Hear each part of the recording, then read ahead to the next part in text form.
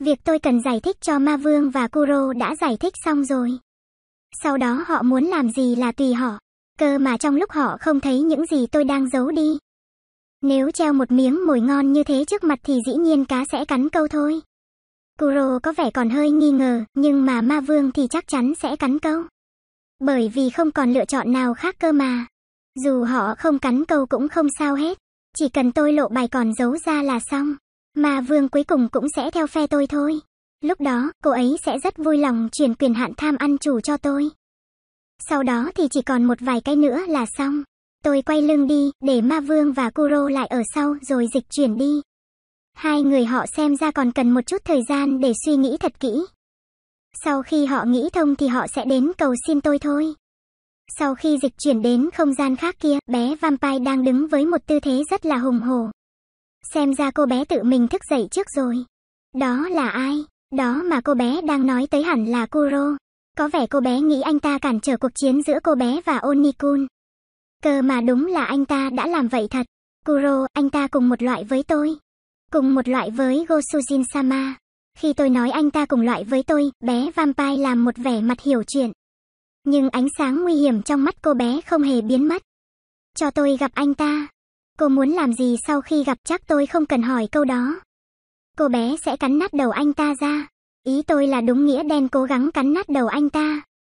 Nghe rằng anh ta cùng một loại với tôi hẳn con bé đã hiểu sự tranh lệch giữa hai bên rồi, nhưng cái con bé cuồng chiến đấu chết tiệt này vẫn còn thế này đây. Mà tôi chẳng có nghĩa vụ gì cho con bé gặp anh ta hết. Không, tại sao không? Ngay từ đầu tôi làm gì có lý do để phải làm chuyện đó hả? Đặc biệt là khi tôi biết cô sẽ gây chuyện nữa. Bộ cô nghĩ toàn bộ mong muốn của cô sẽ được thực hiện hết à, xem ra cô hơi quá hổ báo rồi đó. Tôi nhắc cho cô nhớ lại mình nhỏ bé thế nào nhé, chỉ một chút thôi nhé. Anh ta phá hỏng mọi chuyện ngay khi đang tới hồi cao trào. Anh ta phải lãnh trách nhiệm đi. Tôi không quan tâm, nhưng tôi có cho tôi gặp anh ta đi. Cầm miệng, tôi lên giọng một chút và mở mắt ra. Ngay lúc đó cơ thể bé vampire giật mạnh rồi bắt đầu co rúm người lại vì sợ. Ừ ừ, xem ra cô hiểu tranh lệch giữa tôi và cô lớn cỡ nào. Thế nhưng cô bé vẫn sừng cổ lên với tôi như thế. Xem ra bản năng vampire đang lộng hành quá rồi nhỉ. Ừ, tới lúc cho cô bé một bài học nhỏ rồi, bao gồm luôn việc đó. Ghen tị cô sử dụng nó đúng không? Ý cô là gì tôi không hiểu. Bé vampire cố giả nai nhưng mắt thì cứ lao tháo như thế ai tin. Nói dối là xấu lắm hiểu không, xấu. Ngoài ra, tôi nắm hai bên má cô bé và kéo mạnh. Cô sử dụng rồi đúng không? Nói dối là xấu lắm hiểu không? Tôi ngồi xem từ đầu đến cuối đó hiểu không? Tôi kéo ai bên má vòng vòng lên rồi xuống, trái rồi phải. Bé vampire nắm lấy hai tay tôi cố giật nó ra nhưng tiếc quá đọ sức với tôi là vô dụng nha. Hừ, từ trước khi phong thần thì sức mạnh của tôi. Một trong những vũ khí chính của tôi đã cao hơn bé vampire nhiều lắm rồi, nên bây giờ sau khi nâng cấp rồi làm sao tôi thua nổi chứ? Bộ cô tưởng hai cánh tay mảnh khảnh đó thắng nổi hai cánh tay mảnh khảnh của tôi sao hả? À mà nói mới để ý, hình như tay tôi nhìn mảnh khảnh hơn thật. Ừ, thôi kệ vấn đề tay ai ốm hơn đi. Xin nhỗi mà. Xin nhỗi Bé vampire nhìn tôi mắt ươn ướt mà xin lỗi nhưng tôi chưa tha tội cho cô đâu. Nói vậy chứ, bây giờ tôi hết việc để làm rồi. Tôi thả hai má bé vampire ra. Sau đó tôi kết nối không gian này với một nơi khác mời người trong kia bước ra. Ojusama, bé vampire ngước lên nhìn Mera, người vừa bước ra từ cổng không gian như đang cầu cứu viện. Ojusama, thôi miên của cô không có tác dụng với tôi đâu. Mera lặng lẽ lắc đầu. Rồi tát bé vampire một phát ngay mặt. Ể, ể, bé vampire chớp mắt vì ngạc nhiên không thể hiểu được tình hình hiện tại. Ojusama, cha mẹ của cô liệu có tự hào được với cô hiện tại không? Chuyện, chuyện đó, ể hờ. Nghe Mera nói thế bé vampire cố gắng phản đối theo phản xạ. Ozusama, để lạc mất bản thân mình đắm chìm trong bản năng của vampire, tôi chắc chắn điều đó rất sung sướng. Không ai dám phản lại cô. Không ai có thể phản lại cô. Đúng thế, một mình cô có thể đàn áp toàn bộ bọn họ. Chuyện đó cứ như mơ đúng không? Hay là cô thực sự nghĩ đó chính là một giấc mơ? Cô thực sự đã nghĩ mọi chuyện xảy ra đều chỉ là một giấc mơ không hơn không kém, không liên quan gì đến thực tại. Giấc mơ được làm một con bướm. Bé vampire hiện tại đang bị chính dục vọng của bản thân áp đảo, kết quả có lẽ là khiến cho cô bé không thể phân biệt được giấc mơ với hiện thực. Hoặc là ý thức vampire của cô bé quá mạnh mẽ, khiến ý thức con người của cô bé bị rũ bỏ hoàn toàn. Ojusama, tôi sẽ hỏi lại lần nữa. Cô hiện tại, cô có đang đi cùng một con đường mà cha mẹ cô đã bước đi một cách tự hào không? Bé Vampire không trả lời. Cô bé không thể trả lời. Người hầu cô bé tin tưởng nhất, người mà cô bé tin tưởng không bao giờ phản bội mình, đã tát cô bé, đánh thức cô bé khỏi giấc mơ đẹp dai dẳng. Mặt cô bé ngày càng tái nhợt. Ojusama, tôi không thể phục vụ cô như phục vụ chủ nhân của mình được. Bởi vì chủ nhân của tôi vẫn luôn là cha mẹ cô. Vì vấn đề cha mẹ cô bé được nhắc đến sâu trong tiềm thức của bé vampire, ý thức con người của cô bé thức tỉnh. Vì thế, dù tôi đã biến thành một vampire với cô làm mẹ tôi đi nữa. Chuyện đó không thể xóa đi bản tâm của tôi được. Những lời đó, nghe ban đầu cứ như là lời nói làm nhục. Với bé vampire, Mera là một tồn tại cực kỳ quan trọng. Ông ta chính là một người đã liên tục ở bên cô bé từ nhỏ, hỗ trợ cô suốt quãng thời gian nguy hiểm nhất của bản thân cơ mà. Nếu cô bé bị một người như thế nhục mạ, cô bé sẽ phản ứng ra sao đây? Bé vampire vẫn im lặng, lắc đầu nguầy nguậy từ chối chấp nhận.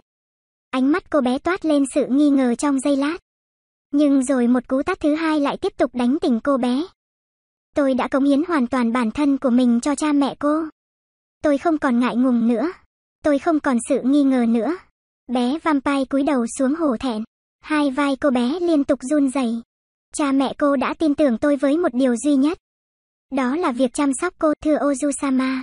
Không hơn, không kém. Mera chậm rãi ôm bé vampire một cách dịu dàng.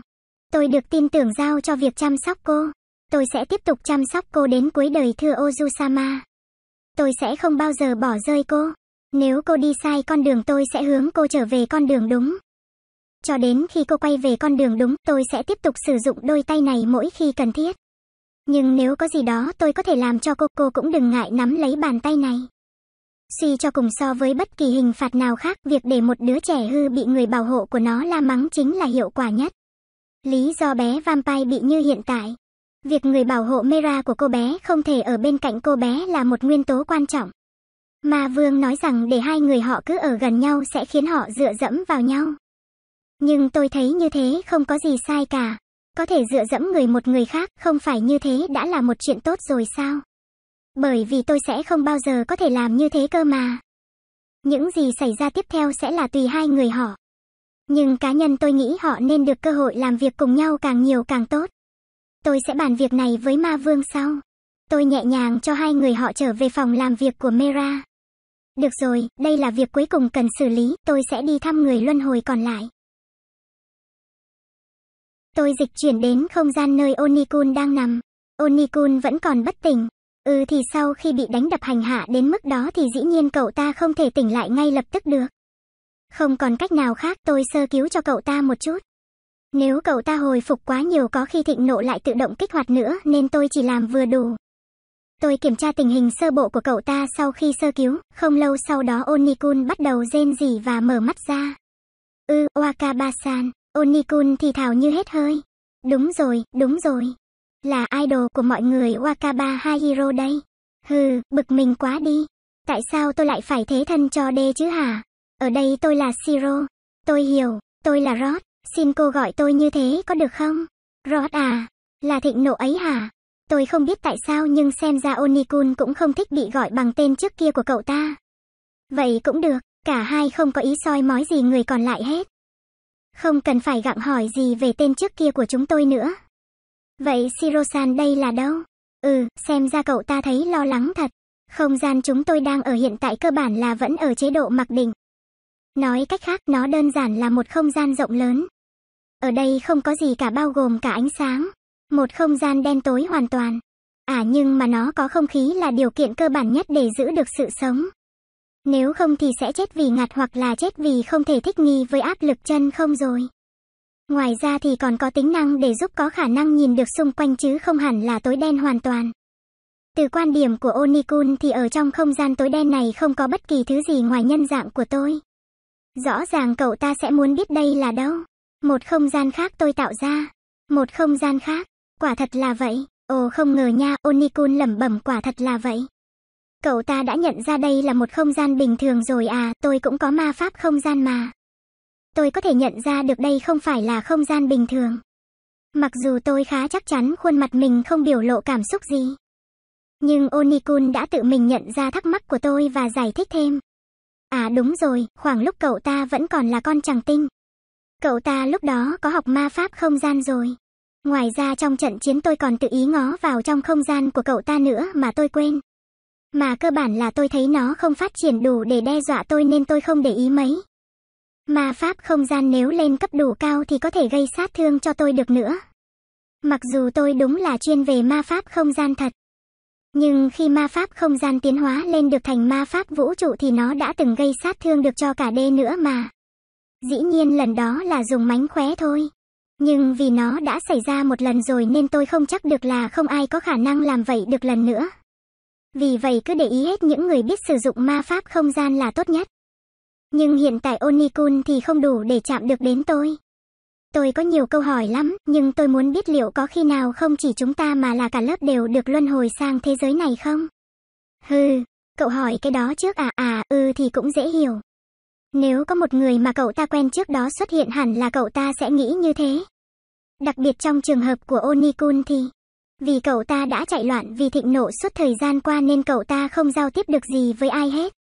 Không có ai nói được cho cậu ta biết về những người luân hồi hết. Mọi người đều ở đây. Mọi người. Thật là bất ngờ. Mặc dù Onikun nói thế nhưng tôi thấy cậu ta không bị sốc gì lắm. Xem ra việc có tôi xuất hiện khiến cậu ta vô thức chấp nhận sự thật đó rồi. Onikun kiếp trước là Sasajimakun. Theo tôi nhớ thì cậu ta có vẻ khá nhạy bén. Kiểu như, cậu ta có thể nhận ra không khí thích hợp để chọn từ ngữ một cách chính xác. Nhưng thay vì nói cậu ta già đời thì giống như cậu ta đang cố hết sức để không có gì phá vỡ sự yên bình vậy. Ừ, việc có thể nói chuyện cho phù hợp tình cảnh đủ để nói cậu ta thực sự rất nhạy bén rồi. Tôi đang nói đến đầu óc của cậu ta cơ, không phải nói cậu ta học giỏi hay gì đó. Có nhiều người dù học rất giỏi nhưng vẫn là những kẻ đầu đất, ngược lại cũng có người có tài năng nhưng học không giỏi. Sasajima Kun thì cậu ta trước đây cũng học khá giỏi nên tính ra cậu ta cũng thông minh. Vậy Yamada Sansuke và Oshima Kanata, cô có biết hai người họ ra sao không? Onikun hỏi tôi có biết không, xem ra cậu ta tự tin rằng tôi sẽ cho cậu ta được câu trả lời. Cũng đúng, ngay lúc tôi trả lời mọi người trong lớp đều ở đây thì cậu ta có thể đoán được rằng tôi biết về những người luân hồi khác. Đằng nào tôi không có lý do gì để giấu cả nên tôi có thể nói cậu ta biết chuyện này. Dù gì thì có nói ra Onikun cũng không biết tôi không chỉ là biết về mà thôi. Cả hai đều khỏe mạnh. Có điều một trong hai người chuyển giới rồi. Nhưng cô ấy vẫn khỏe mạnh nên tôi không nói dối. Ra vậy, thật tốt quá. Nghe thế mặt Onikun giãn ra, xem ra đó đúng là suy nghĩ thực sự của cậu ta. Hừ, tôi ít nhất biết chuyện đó chứ. Rằng Onikun đang cực kỳ cảnh giác tôi.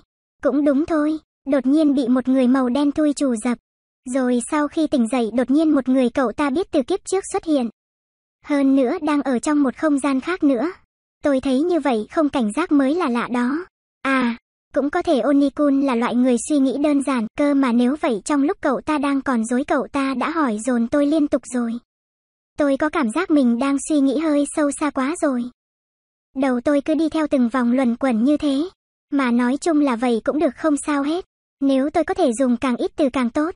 Bởi vì nói sao thì nói, một lần tôi không thể nói quá nhiều nổi.